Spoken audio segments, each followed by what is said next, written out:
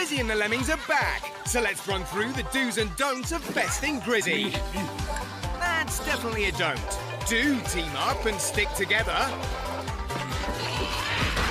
Don't get distracted. Oops.